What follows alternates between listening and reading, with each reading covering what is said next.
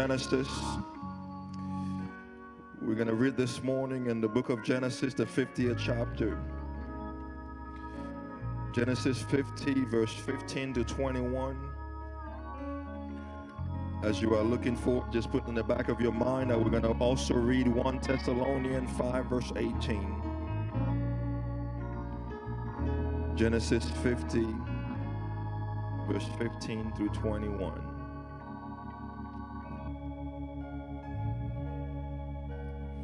Going to read from the NIV.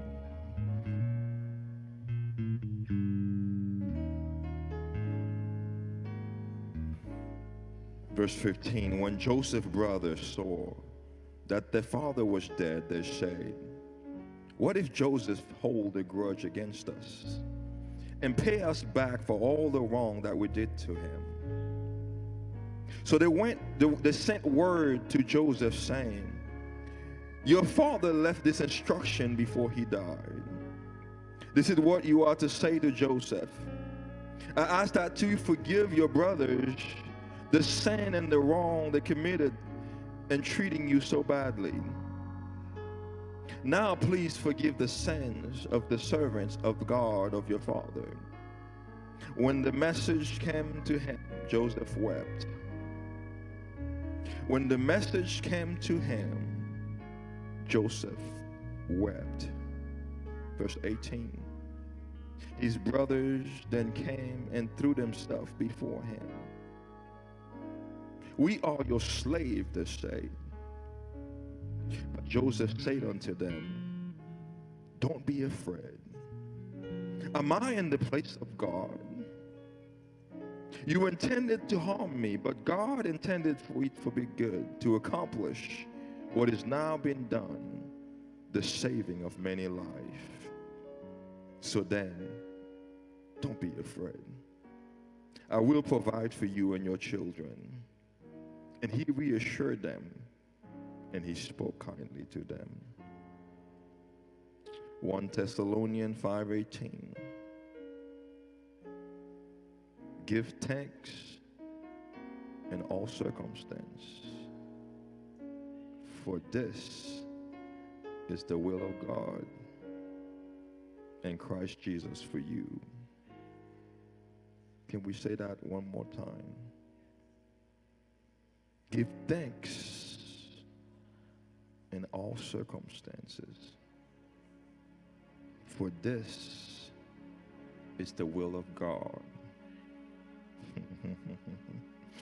Lord, we bless your mighty name. We thank you this morning. We exalt you. We thank you for your presence in this place. We thank you as you move mightily throughout, throughout the service. You touch us, Father God, through the worship. And Father God, as I'm getting ready to speak to your people, I pray, Father, that you will uh, touch me and you will use me as the vessel that you want me to, Father, so I can be uh, bringing your word with boldness, so I can bring your word with sincerity, so I can bring your word freely. And we pray right now in the name of Jesus. Amen. Give thanks in all circumstances. There was a little boy that was asked to give uh, grace to, to, to pray for a Thanksgiving meal, and the little boy was sitting at the table. His father asked him to pray for the meal, and the boy took us, he just took a few minutes. As he was observing the table, he looked at every single dish that was on that table and everybody's waiting patiently. You know how it is. We're ready to eat, and that little boy's taking forever. And as he looked at everything, he said, Lord, I don't like the looks of it. I don't like the look of it, but I thank you for it. I'll eat it anyway. Now I can picture the boy's mother give a look I mean, she had spent all this time preparing this meal. And then the boy say, I don't like the look of it. The same is true in my house. My kids, no matter what you make, if it's cooked food, they're not down with it. But you bring anything else, it will be devoured in a second. So no matter how good the table looked with all chicken, no matter what it is, they just couldn't care less. That little boy was being honest. As he looked at the meal, he said to himself, I don't like the looks of it, Lord, but thank you anyway. This morning, I want to speak to you this morning. The title of this message says, Lord, I don't, Lord, I thank you for it anyway. I want you to take the it and personalize it in your life. I don't know what the it is for you this morning, but I want you to say it. If you can practice it with me, let's say it. Say, Lord, I thank you for it anyway. So now let's take 30 seconds. I want you to, to personalize the it. I want you to say, Lord, I thank you, and then put something in between and say, anyway. Come on, I give you 30 seconds. Just think of something in your life right now that need to be thankful for God. Because sometimes we let the one thing that it in our life take away the glory, take away the thankfulness, the, grat- the gratitude that we have toward God. So you take 30 seconds. Come on, just take some time. Say, Lord, I thank you for my marriage. I thank you for my children. I thank you for the job. I thank you, Lord, for my circumstance. But now let's shift it to something that will make you not even want to thank God. Maybe your life is not in a condition right now where you should be thankful to God. That's what I mean by it. I don't mean for you to put the it for the good things that are going on in your life, but I want you to thank God that it represents a trial, that it represent a circumstance, that it represent an ugliness, that it represent a rejection, that it represent something that is holding you back, that it represent the past that is holding you back, that it represent a spirit of unforgiveness, that it represent a spirit of grudge, that it represent something that is holding you to be thankful to God. I don't like the look of it. He was being honest. Sometimes coming to God doesn't mean you have to fake it. I mean, we think that when we come in the presence of God, we're going to fake it. God knows everything. He knows everything. But it's not because he knows that we cannot be acting grateful. It's not because that he knows that I cannot open my mouth and be grateful to God. Come on now. Sometimes we think the person knows. No, it's because you don't want to give them credit. It's because you don't want to speak truly. You want to hold it back.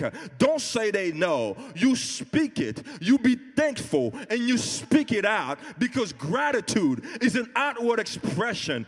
People can see it. They have to see it. Have you ever felt like this? You you are in a position where you're trying to make a choice. You know that you should be thankful. It's not really that you don't want to be thankful, but you know you should be thankful. That little boy knows it. Being thankful is a sign of being mature. It's a sign of maturity. Everybody is thankful to some degree in their life. Everybody is thankful to some degree. But true thankfulness manifests itself in our life in different levels. What God has done for me, I will display my gratitude in a different way than you do. Sometimes, if you see how I worship, if you see how crazy I am for God, then that ought to tell you how grateful I am and where God took me from, what He has done for me. Thankfulness manifests itself in different levels.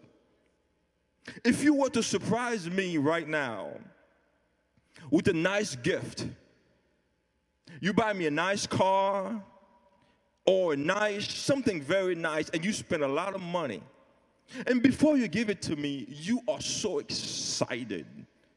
You can't wait to see the joy in my face when I receive it. And then you come to me and you handed me the key if it's a car, and then I take the key and I walk away. And as I walk away and I, I say, Oh, thanks.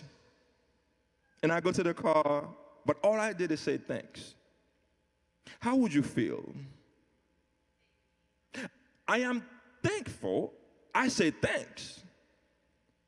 But is that displaying any emotion? Is that displaying any gratitude? Would you consider me grateful? Being thankful doesn't mean you are grateful. I mean, we are in a generation where everybody say thanks. Everybody say thanks. But don't confuse that with gratitude.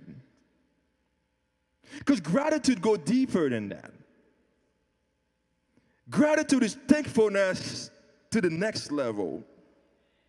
And the definition of gratitude is recognizing the bonus value for favorable things or positive likes experience for which we did not actively work towards or ask for. I didn't ask for it, I didn't work for it, but it's like a bonus, right? It's a bonus. A dictionary definition would be gift outweighing exchange. The gift outweigh the exchange. So if you give me a gift, there's nothing I can give you to make it enough. Just like salvation. There's nothing we can give back to God for the gift of salvation. We can say, Thank you, Lord, but it still doesn't compensate. It doesn't weight the same as give what salvation is. Gratitude is more than just the feeling of thankfulness. Saying thanks is not grateful.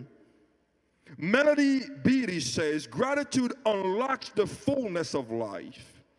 It turns what we have into enough. It turns what we have into enough and more. It turns denial into acceptance, chaos to order, confusion to clarity. It can turn a meal into a feast, a house into a home, a stranger into a friend. Gratitude makes sense of our past, bring peace for today, and create a vision for tomorrow. Now let's take a look, a look at one person in the Bible. That not in a million years that we think that person is grateful. In fact, the chapter we just read, when we read that passage, we always associate that passage with only with forgiveness. Because it says, Joseph said, What you meant for evil, and God used it for good. So we always take this passage as just in a way to coincide it with forgiving attitude. Joseph is not wasn't just somebody. We always think like he was someone that was handed a blessing. That God came to him at an early age and said, Joseph, I am going to bless you. I give you a vision, and you're gonna be the head, and everybody gonna bow to you. We always think of Joseph as this little brat who has everything handed to him. As a young man, he was sold into slavery by his brother. He spent years and years in jail for crime he did not commit. That's the same way you feel when somebody lie about you. You know it hurts more when you didn't do something and somebody say you did it. It hurts more. There are things you say, I wish I did it. Maybe I know. At least I know I did it. They lie about him. He was thrown into jail for a crime he did not commit. He had everything taken away from him. He was forgotten, he was abandoned, he was lied about, and yet, while we know this arrogant youngster, the only thing we can think of Joseph that he has ever did is being arrogant with his little brothers to show off how he was going to be better than them, how they were going to bow to him. I mean, sometimes I always say to myself, he deserved it a little bit. I mean, he deserved it. You cannot stand here and brag and say, How I'm going to bow to you. And I'm your big brother.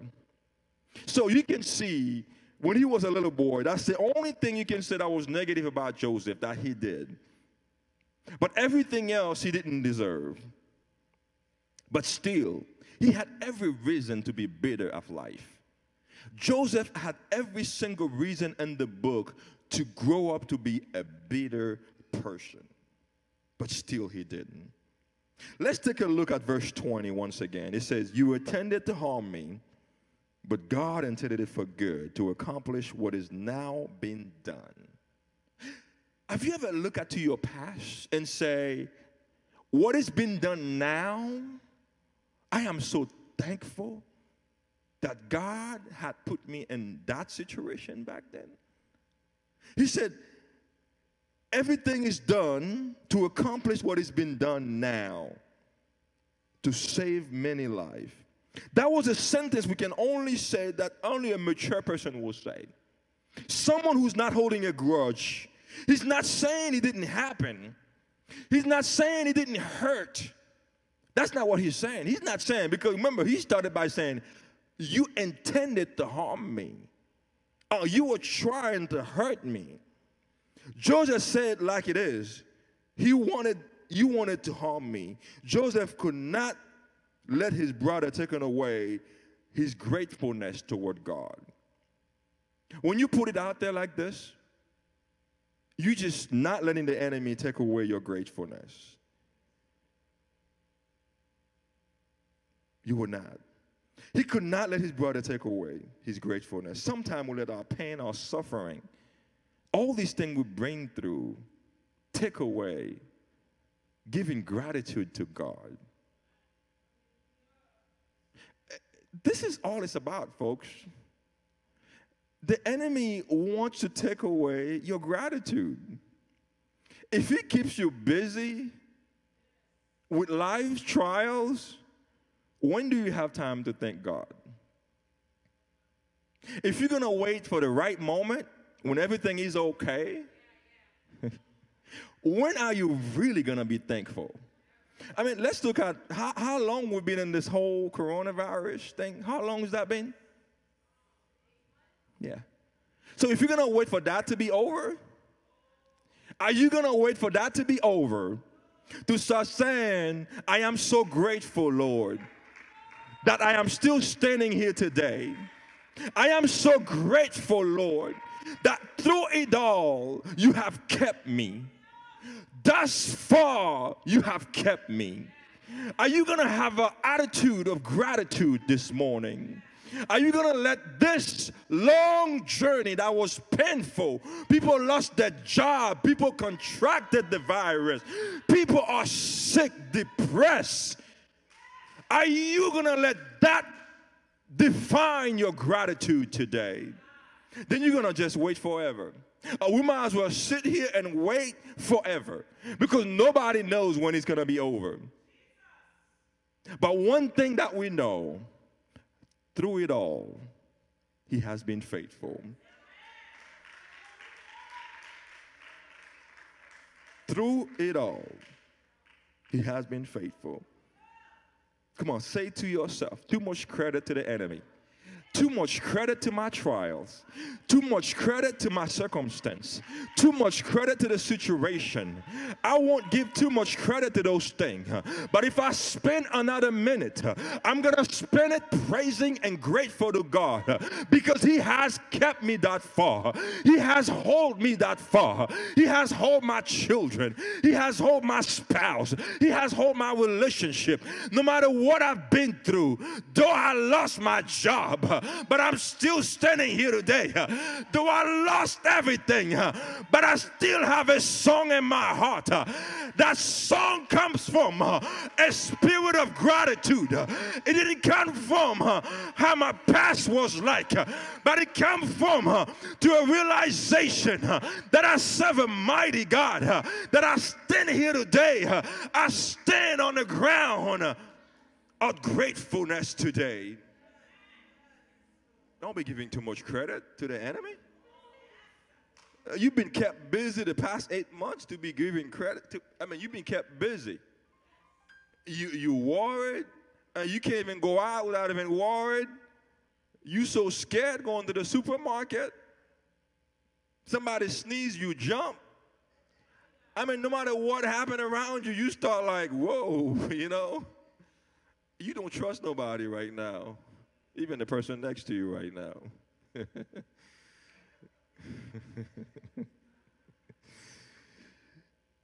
you can't give too much credit. What this story teaches us, number one, it teaches us that Joseph taught us that our thankfulness is not dependent on the past. Number one, our thankfulness doesn't, it doesn't depend on the past. The past for Joseph bring harsh memories.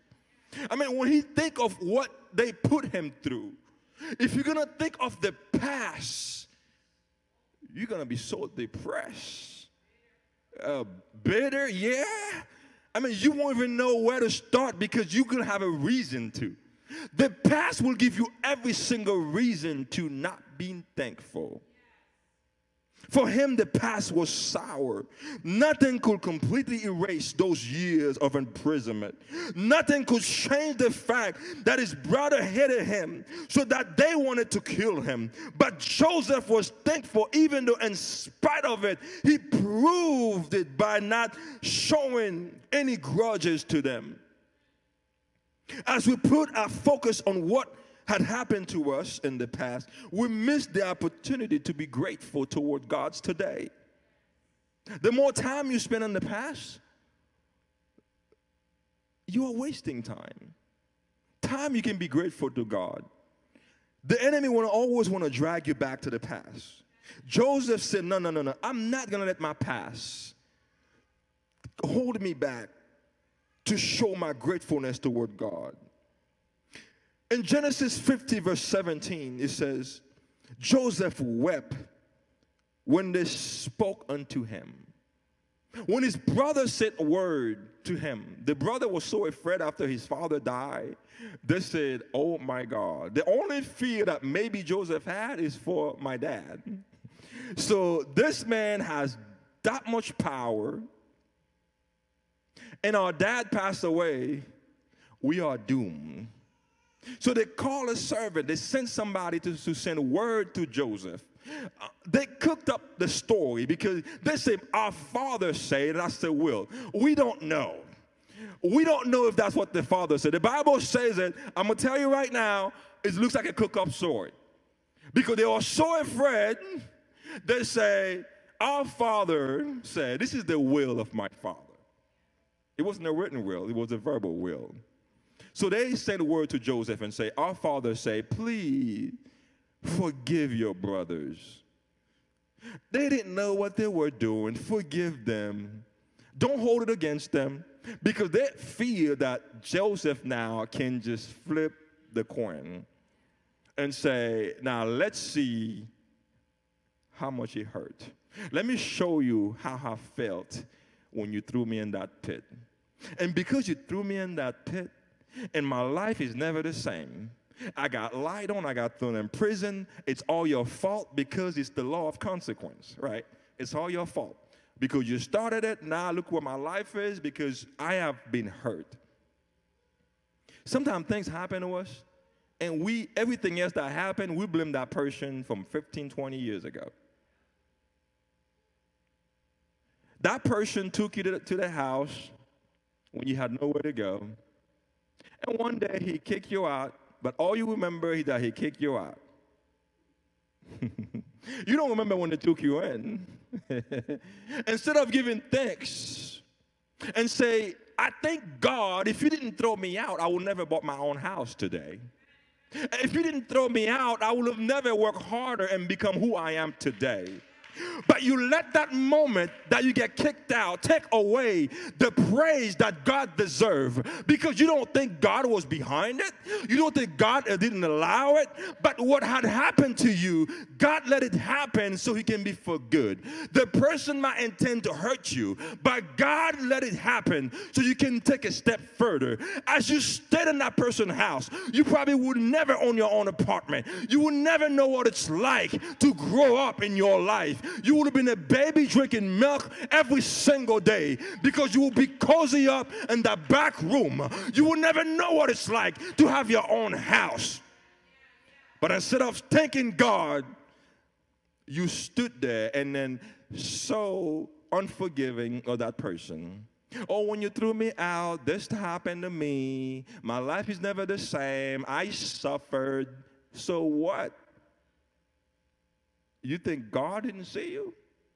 You think God abandoned you all this time? Look at where you are today and explain, explain that story to me again. Look where you are now and go back and see if God made a mistake with you. But the Bible say when Jesus when Joseph heard those words, he wept. I mean, I say to myself, Joseph wept. If you read that story, he wept, I believe, seven times in that story, at least seven times. The Bible says he wept when his father dies, and when he first met his brother, he heard about Benjamin. He wept. But when he wept on verse 17, when you look at the reason he wept, he didn't weep because his father died, because he wept on, on, Genesis 15, verse 1, 50, verse 1. That's when his father passed away. The Bible said he wept. There was that time he wept because there's something that Joseph realized. Joseph realized something they didn't understand. When he heard the story, how they feel pity, they feel bad for themselves. He wept because he realized they didn't get it. They didn't get it. They didn't get it because what they did they didn't get it because they are sitting here feeling guilty. They didn't realize how much good they did for me. Although he hurt, although I went through all these, but he wept because he realized he didn't get it. If they only knew, because he said, I'm not going to let them take away my gratitude toward God. Because Joseph wanted to give God the glory in that moment. That those tears that was falling, that was the tears of, of, of him realizing how much his brothers didn't really understand.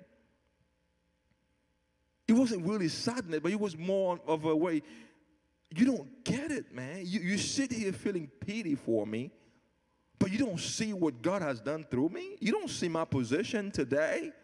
I wouldn't be here had you not done what you did. Joseph reminded them of his disbelief that God and his sovereignty has let all these things happen for good in all their life and his amazing grace and providence overruling the redemptive plans. It's not what they did, it's what God did with what they did. It's like they handed God a tool. God is always looking for something to use. Whatever just happened to you, just look at it as one more tool in the hand of God. Number one, Joseph taught us that our thankfulness is not dependent on our past, but it also taught us that our thankfulness is not dependent on the present. The present.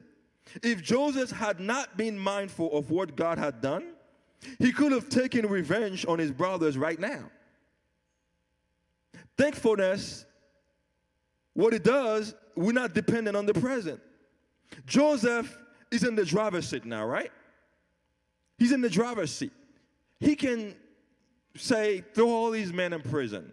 He can say, do whatever you want to do. He had all the power and the resources to make their life a living hell. As we put our focus on the present situation, we miss the opportunity to be grateful. God took you. When I see that, I, I, I'm taken back to see why God chose Joseph. You know, God chooses us according to our heart. You know that. If God knows your God knows your heart, not if He knows your heart. But if in your heart he knows that you would have been somebody today that when you get in that position, you will be so inflamed with pride, you probably wouldn't be, wouldn't be chosen. God chooses, He chooses us because He knows our heart. Certain thing God chooses us for is because He knows that He chooses you because you can endure the trial you're gonna go through to get there. But when you get there, you won't be so big you won't get so big, your head won't get so big, you won't be so conceited inside to the point where you cannot give him glory and you will not be able to forgive. Those who he used throughout the journey to take you there. Because he's going to use people to bless you, he's going to use people to hurt you, and some people are going to hurt you more than others. Maybe it's a relationship you had that that person so destroy you mentally, physically, and then you find yourself, you can't let it go, and you always, every time something happens, you just bring that person's name. And that person is having some, eating some nice chicken and grill and all that, and they don't even know what you're doing. And you sit there and calling on their name. And they just, they moved on. They don't even know what they did. In fact, sometimes some people hurt you. They don't even see what they did to you. You're just crying about it. And they hurt you so bad. It's so obvious other people can see it, but for them, they don't even realize how bad they hurt you. They tell you, suck it up again, because they think they're helping you. And maybe they are. Maybe they are. Maybe sometimes you need to hear an honest conversation Maybe somebody needs to tell you off sometime, then you just get it sometime. But don't just use it as way to hold you back. And then when you get there, when God blesses you in the presence, don't let it hold you back. Or you're gonna repay evil for evil. Or you feel like, oh yeah, I'm gonna show you what it hurts. Like somebody said something that hurt you, and then you can't wait, and or maybe you didn't think of a quick answer right away, and then you spend a whole week uh, you thinking about it. and you can't let it go and you just mm-hmm, you call everybody and then now by the end of the week and you form that perfect response and, and then you just stand right in the church parking lot Uh, you can't wait for that person. You talking to somebody else and your eyes is right there waiting for that person to come. And as soon as you saw them, you pretended and you just throw it out there in the air. You know they're gonna get it, but you didn't say it direct, but you throw it so they can get it. So you, you just can't because you feel like if I don't tell them, I won't feel good. Cause you carrying that thing, you just gotta let it go. Or maybe something you know that's going to hurt the person, that can destroy them. That word, you know that you, when you say it, you say it, you're going to shut them up. They will never say anything else to you ever again. And you're going to fix it. You a fixer. You are God's holy agent.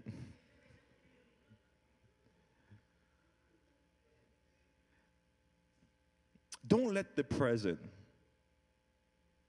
destroy God's plan for your life. Our thankfulness is not depending on the present. Where we are today, where God put us, should not keep us from being thankful.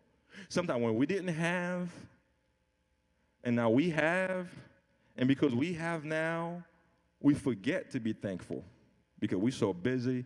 We're a big shot you know, we don't have time. We can't, we just don't even have time for God. We're so busy.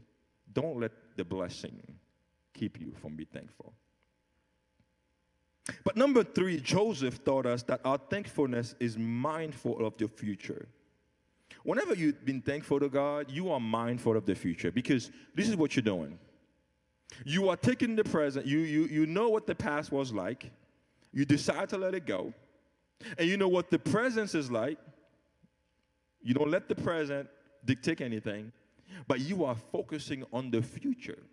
Because as you've been faithful, it doesn't matter what it looks like right now.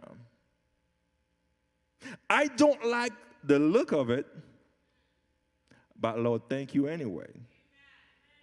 I don't like what I'm seeing right now, but Lord, thank you anyway. See, this is faith.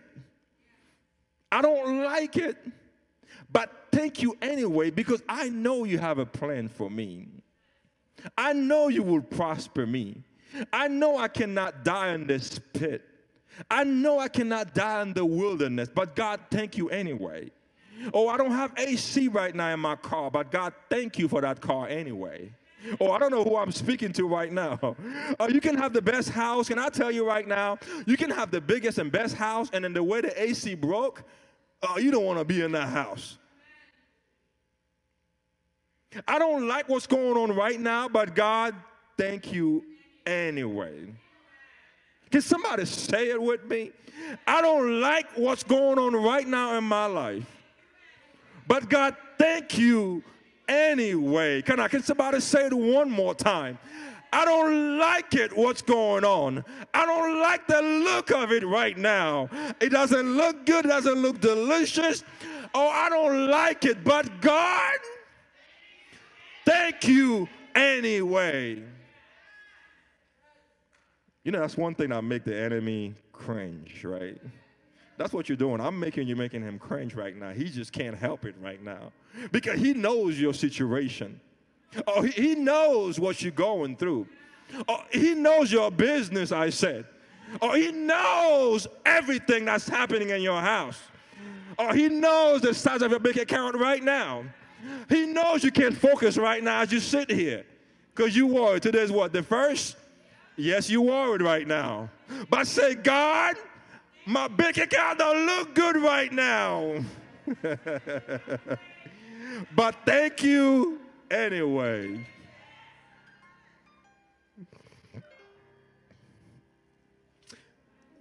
What is holding you back today? What is holding you back today to be thankful? Is it your past? Do you need to forgive someone? Do you need to let go of something that's dragging you?